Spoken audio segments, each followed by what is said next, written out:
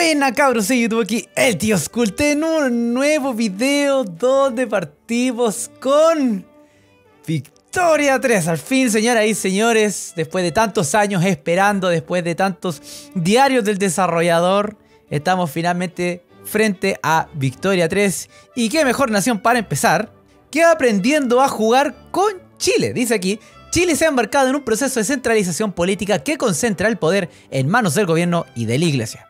¿Qué le depara el futuro a este país? Bien, señores y señores, y aquí estamos en Chile. Te damos la bienvenida a la era del progreso. Nos encontramos en 1836. José Joaquín Prieto es general de Chile. La revolución industrial avanza a toda máquina y conlleva unos cambios sociales sin precedentes. Han transcurrido más de 20 años desde que el Congreso de Viena impusiera en Europa algo parecido al orden, y el malestar empieza a gestarse de nuevo entre las grandes potencias. Tu misión será guiar a Chile hasta la gloria a lo largo de más de un siglo.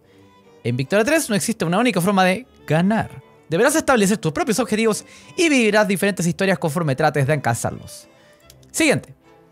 Eh, juego básico, bueno, eso lo podemos ver. Introducción de la cámara. Ah, bueno, vamos a saltarnos a esto. Bueno, y como les mencioné, aquí está Chile, una pequeña tirita de tierra. Ya actualmente tenemos dos estados, Santiago, Los Ríos, y estamos colonizando la Araucanía. Uh, un poquito complicado ese tema, pero bueno. Por ahora en nuestro gobierno solamente tenemos a las Fuerzas Armadas y tenemos algunos de otros grupos de interés metidos aquí eh, en la pestaña de política. Tenemos algunas cosas que no son tan buenas como por ejemplo la censura en el término de la libertad de expresión y no tenemos policía. Así que una de las primeras cosas que vamos a querer hacer es em, darle fuerza policial local para ojalá hacer que los terratenientes sean más importantes. Una de las cosas que nos van a salvar la vida es que tenemos minas de oro en Santiago. Y yo, si no me equivoco, esto replica lo que vendría siendo la minería de la plata, porque aquí no hay plata, eh, en lo que era la Serena. Porque obviamente Santiago, siendo aquí el Victoria, va desde un poquito menos de Rancagua hasta un poquito pasado de Copiapó. Así que si supone que eso es Santiago, bueno, será. Así que dentro de las primeras cosas que vamos a hacer va a ser aumentar el nivel de las minas de oro al máximo porque queremos cada una de esos pesitos ahí disponibles. También una de las cosas que vamos a querer hacer va a ser fomentar con autoridad la atracción migratoria a cualquiera de estas dos partes de Chile. Y finalmente vamos a poner algunos impuestos al consumo como lo son el licor y el tabaco. Vamos a reclutar también un general llamado Antonio de Santa Cruz, el cual eh, tiene estrategia defensiva y es irascible, lo cual es bueno. Él espera de que podamos conquistar aquí un territorio tehuelche. Así que vamos y partamos esta aventura con Chilito, el pequeño país que podía. Perfecto, ya tenemos la fuerza policial local, lo cual le da un poquito de eh, fuerza política a los terratenientes y nos da penalizaciones del Estado por agitación. No tenemos demasiado radicales, van subiendo un poquito, pero eso es normal, así que espero que no tengamos muchos problemas. Y podemos ver también cómo estamos colonizando lo que es la Araucanía chilena. De a poquito van pasando los días, de a poquito vamos viendo cómo ganando un poquito más de territorio.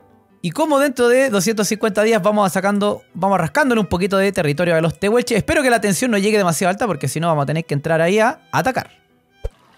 Ajá, música para mis oídos un grupo de artistas errantes de gran fama ha llegado a Los Ríos, seguido de cientos de solicitudes para que nuestro generoso gobierno financie uno de sus conciertos. Y eh, dice aquí tenemos gastos gubernamentales, pero ganamos prestigio. Vamos, porque una de las cosas buenas que tenemos es que estamos ganando harta plata. Tuve que subir sí los impuestos porque necesitaba construir. Eh, pero lo bueno, como les menciono, es que tenemos estas minas de oro que están generando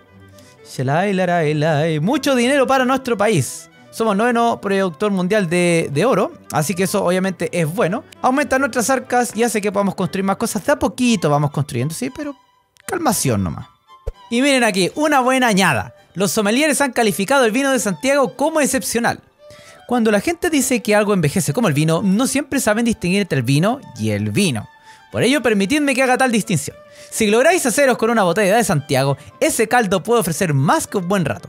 Puede ser una inversión. Qué bueno que estén viendo el vino chileno como algo bueno. Eh, dice aquí, eh, podemos producir más vino o podemos obtener un poquito de prestigio. Yo digo que obtengamos prestigio porque tenemos que convertirnos rápidamente en una gran potencia. Bien, y estoy brevemente preocupado por la Confederación Perú-Boliviana, que si bien todavía no se ha formado, lo más probable es que se vaya a formar. Así que yo creo que vamos a empezar a generar un poquito un ejército. Ya tenemos solamente 10 unidades. Tenemos aquí 10 batallones, 10 más 2, o sea, 10 eh, militares eh, normales y dos reclutas. En cambio, eh, Bolivia tiene 18 y Perú tiene 15. O sea, nos llevan harta ventaja. Me gustaría ver si puedo formar una alianza con Brasil. Y obviamente para eh, capturar lo que es el norte chileno, que obviamente sabemos que es nuestro.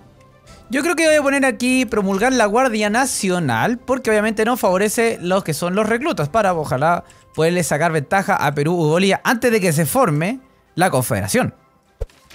Uh, un evento, armeros peligrosos. Las Fuerzas Armadas se cuestionan si tiene sentido depender de las importaciones de armas de Gran Bretaña, puesto que supone una amenaza para nuestra nación.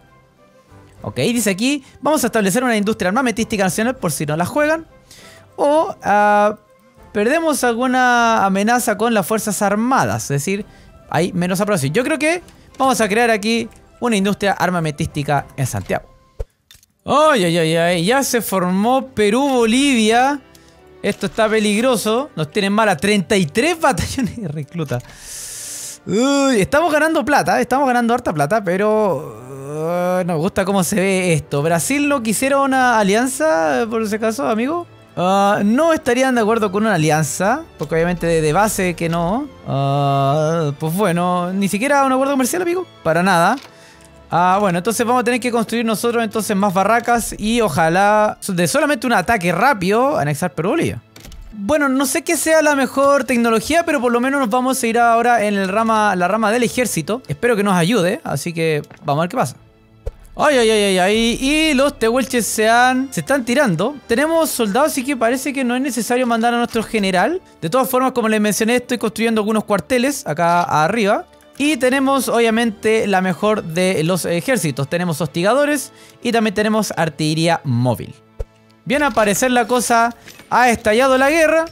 Vamos a bajarle un poquito la velocidad. Tenemos acuartelados, así que no sé si eso significa que vamos a atacar al tiro. De todas formas, vamos a movilizar a nuestro general y vamos a decirle que avance nomás en el frente. Como se fijan, estamos perdiendo una montonera de dinero, casi 7k, y eso significa que vamos a estar en bancarrota. Pero tranquilos que esta guerra se resuelve rápidamente. Perfecto, y como pueden ver están avanzando de a poquito. Acá en el sur, lo que es Parate, Huelche. Quizás podríamos tocar a los mapuches, no sé si se meterían los argentinos. Los argentinos en este caso tienen 10 más 8. La verdad es que eh, se ve bastante plausible. Señor, por favor, apúrese que si no vamos a entrar en bancarrota. Y ahí lo tenemos, capitulación, anexionar a los tehuelches, pobrecitos los tehuelches. Y la verdad los mapuches también se ven interesantes. Y estaba pensando, eh, ya que tenemos la pequeña burguesía, los industrialistas bastante felices, la verdad me gustaría meter a los industrialistas eh, al gobierno. Esto, si lo podemos ver, aumentaría un poquito la legitimidad y haría que nos dan muchos bonuses bonitos. Así que me parece una idea interesante, por lo menos. Ay, los argentinos nos robaron la Patagonia y más encima están aquí colonizando la parte de abajo. ¿Cómo demonios hicieron eso? Y ya va quedando el último pedacito de los pobres Selgram que ya los vamos a englobar completamente. Básicamente ahora lo que tenemos que hacer es tratar de derrotar a Argentina con sus 9 más 13 batallones. Eso sería 22. Y nosotros tenemos 19. Es decir, tienen un poquito más, tampoco tanto. Así que si nos ponemos las pilas, ahorramos plata y empezamos a crecer nuestro ejército, lo más probable es que podamos atacar a Argentina tranquilamente. Bien, y los pobres Segnam han dejado de existir y hemos capturado lo que los quedaba de lo que es la Araucanía. Lamentablemente los argentinos están ahí metidos, pero bueno, ¿qué le vamos a hacer. Así que señores y señores, creo que lo voy a dejar hasta acá por ahora. Si les gustó el video pueden dejar su like, suscribirse, aplicar la campanita para recibir todo tipo de notificaciones. Obviamente un comentario estaría muy, pero muy agradecido. De a poquito va saliendo, esto hay que aprender a jugarlo ya. Este, las primeras partidas que juego del Victoria 3, obviamente hay que saber cómo manejar la economía. Así que bueno, yo creo que voy a dejar el video hasta acá, el tío Skult. Y como siempre, se despide.